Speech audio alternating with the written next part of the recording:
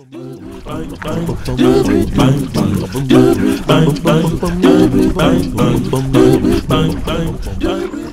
iron anvil will float in liquid mercury because the anvil is half as dense as the liquid mercury is.